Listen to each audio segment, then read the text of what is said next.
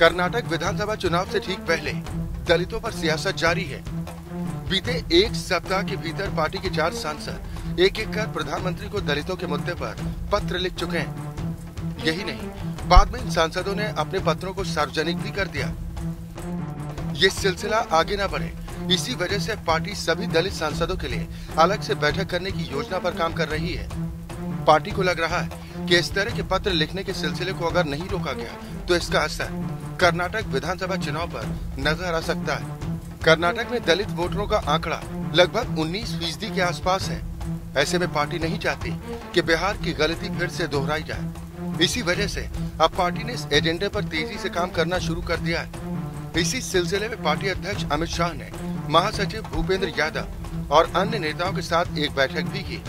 इस बैठक में रणनीति बनाई गई कि लगातार किसी न किसी शिकायत को लेकर प्रधानमंत्री को पत्र लिखने वाले सांसदों समेत अन्य सभी दलित सांसदों को एक साथ बुलाया जाए और उनसे बातचीत कर उनकी नाराज़गी को दूर किया जाए बीजेपी के लोकसभा और राज्यसभा में बड़ी संख्या में अनुसूचित जाति और जनजाति के सांसद हैं। हालाँकि प्रधानमंत्री को पत्र लिखने वाले चारों ही सांसद दूसरी पार्टियों से आए लेकिन इसके बावजूद पार्टी को लगता है कि अगर इन सांसदों को नहीं मनाया जाता तो इसका विपक्षी पार्टियाँ फ़ायदा भी उठाएँगी।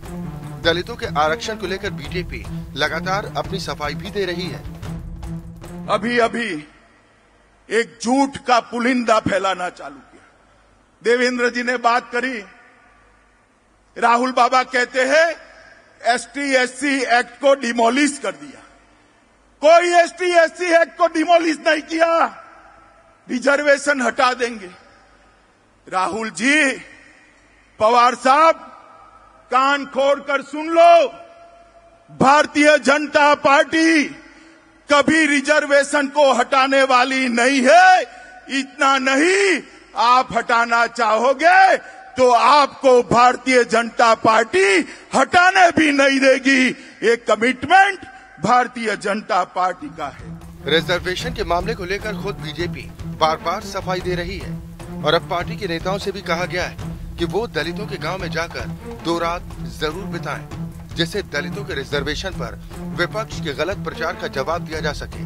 ये संयोग ही है कि जिन चार दलित सांसदों ने प्रधानमंत्री को पत्र लिखा, उनमें से अधिकांश दूसरी पार्टियों से आए हुए हैं। इसी तरह से कुछ और दलित सांसद भी ऐसे हो सकते हैं, जिन्हें अगले चुनाव में टिकट कटने का खतरा हो। ऐसे में वो लोग भी इसी तरह पत्र लिखकर उन्हें सार्वजनिक कर सकते हैं, लेकिन पार्टी नहीं चाहती कि ये मामला आगे बढ़े।